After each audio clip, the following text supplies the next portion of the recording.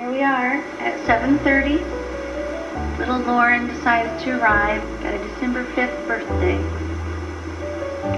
And we're both doing fine. Aren't we? Alright, sweetie. Here's proud daddy. We're so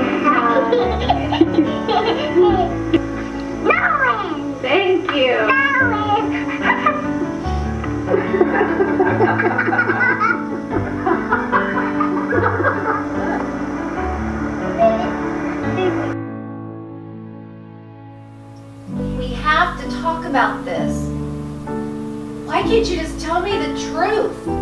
How can you do this to us? To the kids? What are what are you thinking?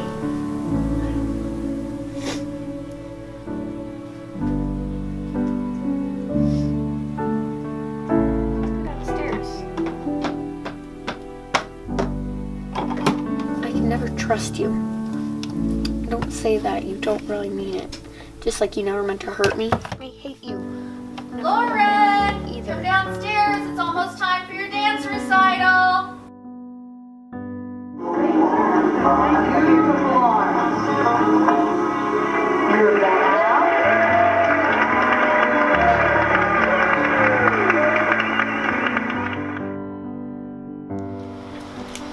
Hey, sweetie. Are you okay? You did a great job tonight. I'm really proud of you. But wasn't Dad supposed to be there? Where is he? I know you probably wanted him to be here, but you know how busy he is, and now that he doesn't live with us anymore, it's just it's just difficult for him to get here. I just, I don't understand.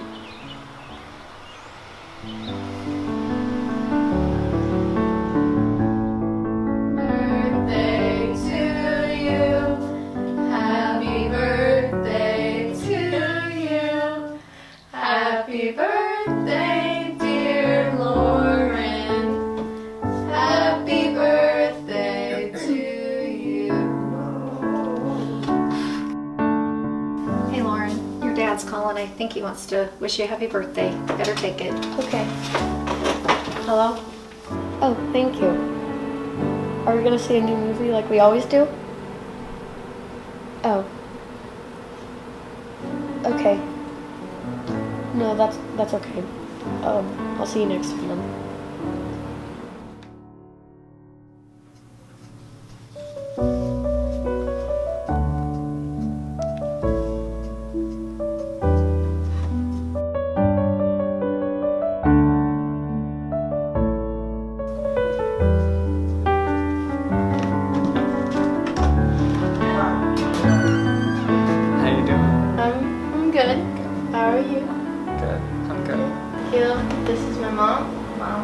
Caleb. Nice to meet you. My name is Tony. Well, Caleb, since this is Lauren's first date, um, if her dad was here, you know, they say the dads always say, make sure you treat her right, bring her home on time, or else I'll, you know, I got a rifle out back. But since it's me, her mom, I just want you to make sure you treat her with respect and keep her safe and make sure she's home on time. I will for sure. Okay, thank you.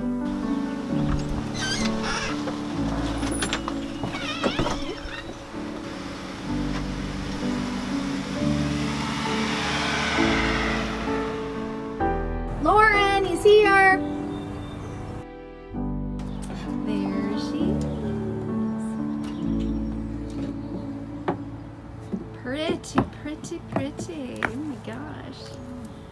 Look at you, girl. Turn around.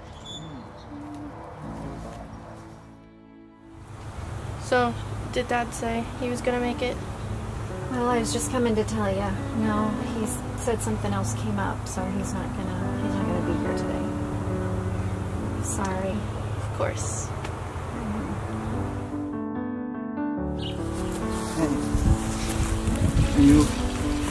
What's wrong? Yeah, it's just like, again, like he just let me down and he told me he was coming. I don't get it. Like, you either be there or don't.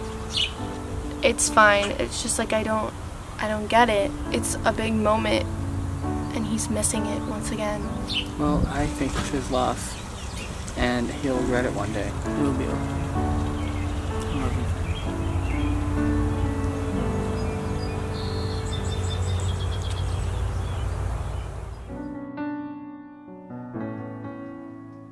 This is a story about a girl who grew up wondering what she did wrong and trying to understand why she wasn't good enough. She grew stronger, but will always have that pain inside. Sadly, this is a familiar story to some people.